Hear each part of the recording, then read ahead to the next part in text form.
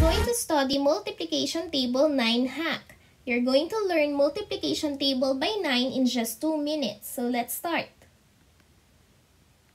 The first thing that you need to do is to write 0 to 9.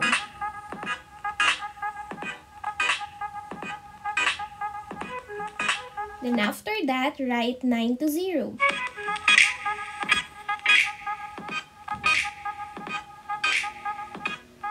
And that's it. Those are the answer in the multiplication table by 9.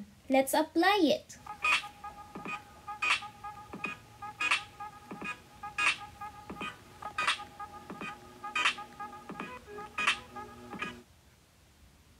Again, this is multiplication table by 9. As you can see children, when you add each digit on the product, you will get the sum of 9. Just like this, 0 plus 9 equals 9, 1 plus 8 equals 9, 2 plus 7 equals 9, and so on. So again, this is multiplication table by 9 hack.